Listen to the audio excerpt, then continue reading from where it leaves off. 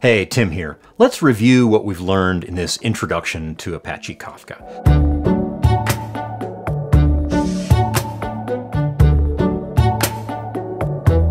You're able to do a bunch of things now that you weren't just a little while ago. You know what a topic is, you know what a partition is, you know what a broker is, you know how a producer works, how a consumer group works, you kind of have an idea of how a minimal Kafka cluster is set up. You know what Kafka Connect is, you know what KSQL is. Uh, you know a little bit about Kafka Streams, and you know something about Confluent Platform.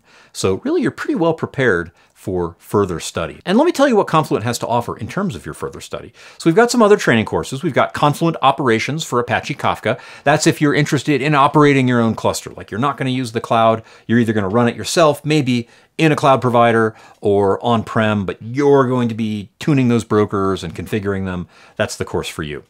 Confluent developer skills for building Apache Kafka. That's for building applications on Kafka, a really a deep dive into how to do things with KSQL, a little bit more about streams, uh, some of the finer points of tuning the producer and the consumer uh, to really dive in there and prepare you to, to do well.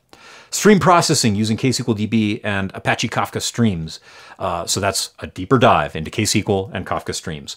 So Kafka Streams is a Java API. You'll do a little bit of Java programming there. And of course, KSQL DB is just SQL with streams and tables. Uh, so there's lots more to understand there. Like I just said, streams and tables. You need to understand what a table is and what a stream is. And honestly, that takes a minute for that to click. So uh, that course will help you a lot with that.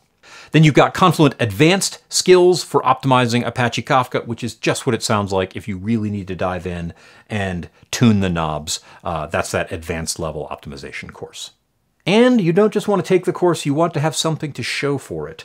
So we have a couple of certifications available. There's Confluent Certified Administrator, for Apache Kafka. That's a 90 minute exam, proctored online, 24 hours a day, just $150. And this will demonstrate that you've got a solid understanding of Kafka and Confluent products.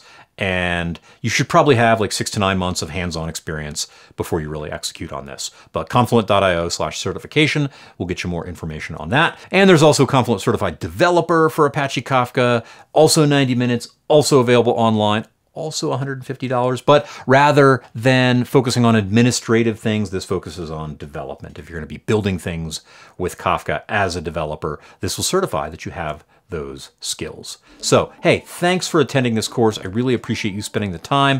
If you have any feedback, that goes to training-admin at confluent.io. And most of all, I hope you get started building things with Kafka soon, and I hope I get to find out what you do build as soon as you do.